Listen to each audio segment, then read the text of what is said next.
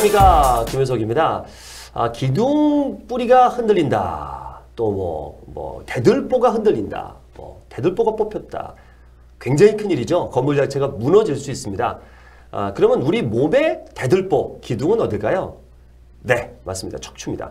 여러분의 척추는 건강하십니까?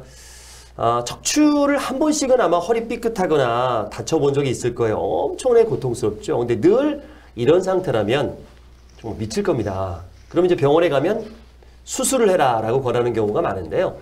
절대로 수술하면 안 된다. 아무리 말기라도 수술하면 안 된다. 나을 수 있다라고 주장하는 분이 계십니다.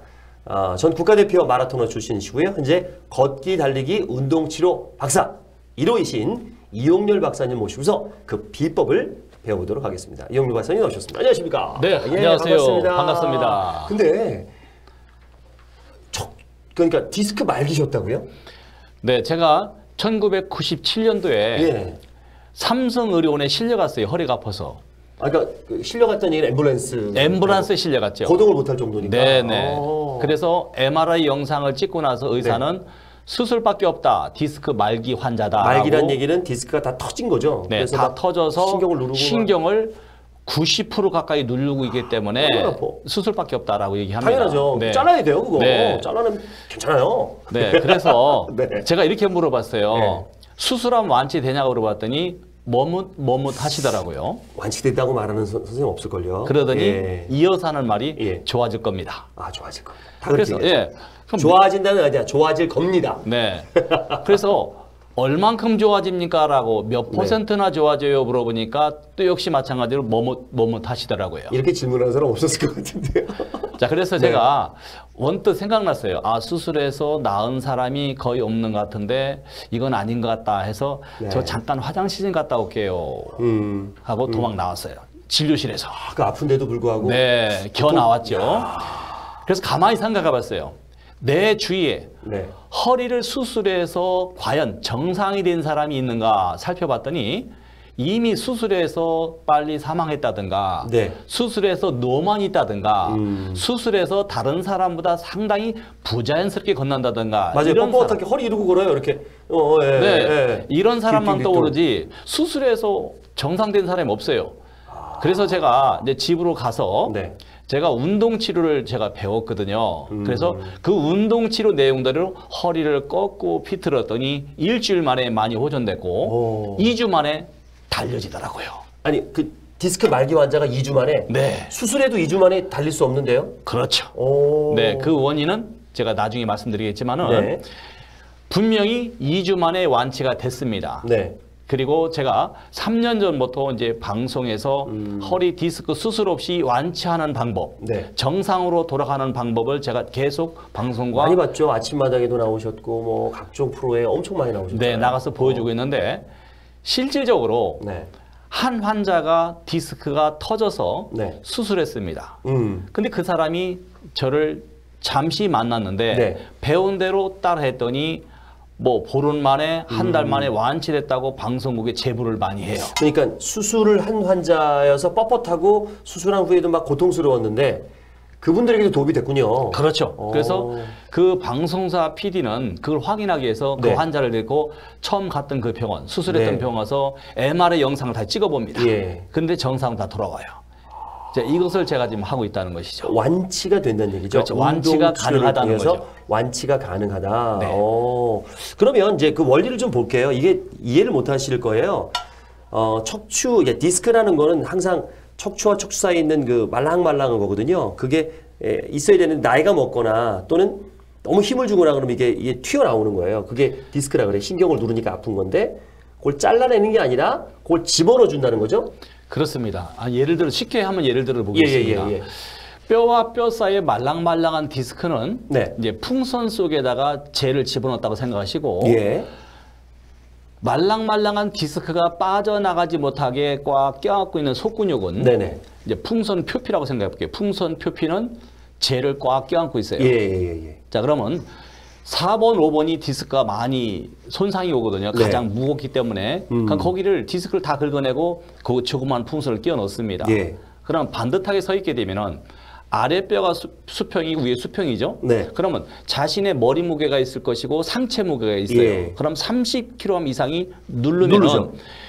풍선은 납작해지려 하죠. 예, 예, 예. 납작해진다는 것은 윗뼈와 아랫뼈가 가까워진다는 거, 협착이 된다는 거고, 예. 협착이 됐다는 것은 빠져나간 거 아닙니까? 예, 예, 예. 빠져나간 것은 신경을 압박합니다. 예. 그러면은 풍선 표피가 찔기고 강하면 내려갈까 안 내려갈까요? 덜 내려가겠죠. 잘. 안 내려갑니다. 예, 안 내려갑니다. 두꺼우면, 예. 두꺼우면. 원인은 젤이 약해서 풍선이 늘어져 나가고 좁아지는 게 아니라, 아니라. 네 풍선 표피가 예. 얇거나 약해서 늘어져 나가듯이 역시 마찬가지로 디스크 비슷하다는 것이죠. 아. 뼈와 뼈 사이에 말랑말랑한 것은 항상 빠져나가려고 해요. 음, 이게 누르니까. 그런데 얘를 나가지 못하게 하는 코어 근육, 장요근 같은 근육들인데 네. 이 근육이 꽉 쥐고 있습니다.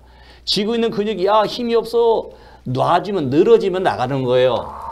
나간 만큼 뼈는 좁아져서 협착이 되고 있고 나간 만큼 신경 압박하고 있다는 것이죠. 음. 그러면은 나간 만큼 분명히 피부를 절개하고 근육을 찢고 그 부분을 끌어낸들 다시 네. 꼬매봐야 또 튀어나간다. 또 튀어나가죠. 그렇습니다. 어. 그래서 수술하고 나면은 대개 보면 복대라든가 보조기를 꽉 차잖아요. 예, 이것도 맞습니다. 살짝 차면은 살짝 들어가고 꽉 차면 꽉 들어갑니다. 예. 꽉 들어가게 되면은 결론은 배의 장기가 위로 올라가게 돼 있어요. 그렇죠. 위로 올라가서 위를 압박하고 음. 폐나 심장을 압박하기 때문에 소화도 잘 안 되고 호흡도 크게 할 수가 없어요.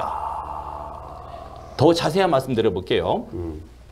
자동차 타이어가 새 타이어 때는 고무가 질깁니다. 네. 그래서 차체 무게가 있고 사람 무게가 있어도 아무리 눌러도 이렇게 남봉난다 어느 부분이 튀어나오진 않잖아요. 네. 고무 성분이 질겨서 사람도 젊은 사람들은 음. 결론은 속에 있는 속근육이 질기고 강해서 절대로 눌리지도 않고 잘 튀어나가지도 않습니다. 네, 네. 그런데 자동차를 사서 매일 타는 게 아니라 뭐 몇 달에 한 번씩 타다 보니까 5년, 6년 됐는데 타이어가 마모가 안 됐어요. 음. 근데 주위에서는 야, 타이어 바꿔 네. 터질 수 있어 이렇게 예, 얘기합니다. 예. 무슨 소리야? 아직도 괜찮은데. 어. 근데 어느 날 갑자기 야, 타 많은 사람이 딱 탔더니 어, 타이어가 남봉이 나요.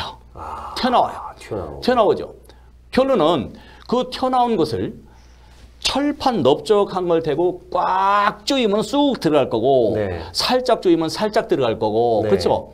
꽉 조였다가 다시 풀면은 원래만큼 또 튀어나오죠. 음. 그러면 허리를 수술했던 안 했던 간에 디스크가 튀어나온 것은 우리가 보조기나 복대를 꽉 조이면 들어가고 살짝 조이면 살짝만 들어갑니다. 그래서 떼어내도 수술을 해내도 그걸 차지 않으면 다시 원래만큼 늘어져 나간다는 것이죠. 음, 그래서 예. 그것은 정확하게 치료에 좋은 방법이 아니라는 것이죠. 음. 분명히 원인은 디스크가 색깔이 까마고 태화되고 병드는 게 문제가 아니라 네. 디스크를 쌓고 있는 속근육에 문제가 있다는 것이죠. 예. 젤, 풍선 속의 젤이 문제가 아니라 젤을 감싸고 있는 풍선 표피가 문제가 있듯이 비슷하다는 겁니다. 예, 좀 정리해드리면 이것입니다. 우리가 근육이라는 건요, 가만히 놔두면 퇴화됩니다.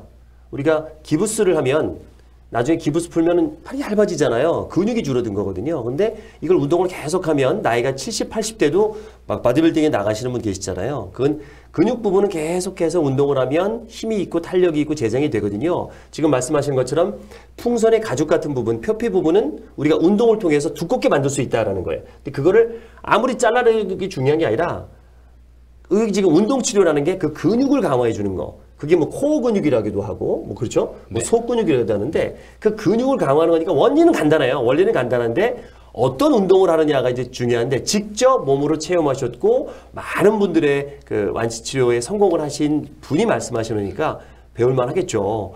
어, 우리가 흔히 생각하는 스트레칭과 좀 다른 개념입니다. 이건 운동 치료죠. 그렇습니다. 네. 이 근육이라는 것은 겹겹이 쌓여 있기 때문에 네. 어떠한 각도에서 어떠한 방법으로 강화시키냐가 네. 관건입니다. 예. 결론은 아무렇게 하는 동작도 도움은 되겠지만은 네. 많은 효과를 보기 위해서는 정확히 그렇죠. 알고 따라야 된다는 것이죠. 어, 짧은 시간 안에 우리가 바쁜데 하루 종일 운동만 할 수는 없잖아요. 짧은 시간 안에 반복적인 운동을 해서 효과를 높일 수 있는 게 운동 치료인데요. 저희가 이 프로그램을 통해서 어, 뭐 허리, 목, 어깨, 관절 이렇게 나눠봤거든요. 첫 번째 시간에는 허리입니다. 허리를 강화할 수 있는 여기 뒤에 이제 나와 있는 것이 저희가 영상을 좀 보여드리고 있는데 어, 이렇게 어, 저것도 제가 해봤어요. 박사님한테 배워가지고 네, 네.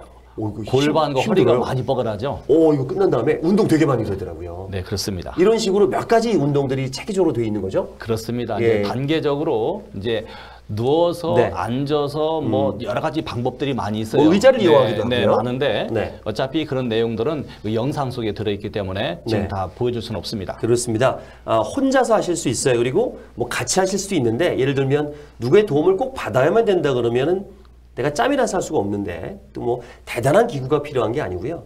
간단한 기구를 통해서 또는 혼자서 집에서 할 수 있는 운동들입니다. 여러분의 허리 내가 운동을 통해서 운동 치료를 통해서 예방도 할 수 있고 치료도 할 수 있습니다. 따라하시면 되고요. 어, 영상을 보시면 이제 따라할 수 있을 겁니다. 네. 제가 하나 힌트 드리겠습니다. 네, 힌트. 자, 김 박사님 손 한번 이렇게 내밀어 보세요. 자, 이 팔의 근육을 키우기 위해서는 관절을 꺾어야 되겠죠. 그렇죠. 계속 이렇게. 꺾을 때 예. 아무것도 들지 않으면 근육이 강화되진 않아요. 예. 그런데 무게를 들게 되면은 음, 무게가 네. 뭐 5kg다 그러면 어 약간 먹으면 약간 뻐근하다, 약간만 강화될 것이고 10kg다. 음. 예. 이야 많이 아, 뻐근하다, 그렇죠. 많이 강화되겠죠. 예. 그런데 본인 스스로 가지 않고 의사가 도움 준다든가 전문가가 도움 주면은 치료 효과가 많지 않다는 건 바로 이겁니다. 어. 보세요. 자, 10kg를 가지고 이거를 관절을 꺾을 때 근육의 힘으로 꺾는 건데 네. 결론은 환자님 힘 다 빼세요. 제가 다 해줄 테니까 힘 다 빼세요. 자, 하고 도와주는 사람이 이야, 이야, 이야 누가 근육이 생길까요?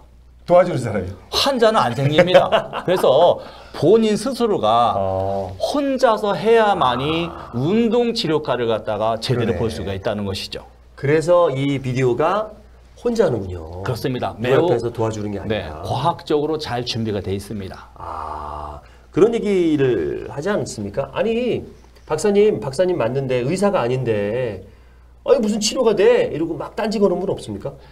네, 간혹 그런 사람도 있기는 해요. 네. 그렇지만 제가 설득해서 예. 아 제가 맞다는 것을 인정합니다. 그렇죠. 네, 그 수술은 의학 박사님들이 잘하지만 운동 치료는 운동 전공하시는 분이 잘하는 거예요. 그렇죠. 어차피 예. 이제 서로가 박사다 보니까 예. 같은 전문가다 보니까 뭐를 배웠느냐 예. 그 배운 것을 전문화 시켜서 사람을 갖다가 회복시켜주고 수술도 하고 뭐 도움을 주는 거 아니겠습니까? 네. 예, 예, 예. 그래서 이 운동 치료는 사실 우리가 지금 얘기하고 있는 부분에 네. 가장 필요한 필수 조건입니다. 네. 운동 치료만이 결론은 약해진 근육과 인대를 강화시킬 수 있거든요. 음. 다른 방법은 거의 존재하지 않는다고 볼 수밖에 없습니다. 네. 약해진 근육을 어떻게 강화시킬 겁니까? 음. 약을 먹어도 주사를 맞아도 침을 맞아도 네. 더 약해질 뿐이지. 예. 네, 스스로가 스스로. 스스로가 그렇죠. 자꾸 관절을 꺾어서 근육과 인대를 강화시켜야 된다는 것이죠. 예, 어, 어린 아이들도요 따라할 수 있습니다. 요즘 어린이들 척추 측만증이라든가 척추가 휘어서 문제가 있죠.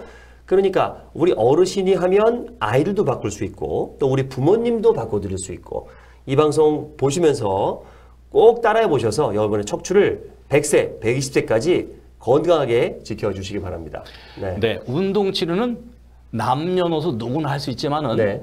독이 없습니다. 아, 독, 독이 되지 않습니다. 부작용이 없다. 없습니다. 오. 네. 한 만큼 네. 허리만 좋아지는 게 아니라 예. 그곳만 좋아지는 게 아니라 몸 전체가 다 좋아진다는 것이죠. 네. 결론은 신진대사가 많이 좋아지기 때문에 건강하게 오래 살 수 있습니다. 네. 그러면 다음 편에는요, 어, 어떻게 직접적으로 운동을 하는지 아주 저희가 영상 또 친절하게 해설해 놨고요. 이걸 반복해서 하시면 여러분 허리 건강해지겠습니다. 다음 편 꼭 보시죠.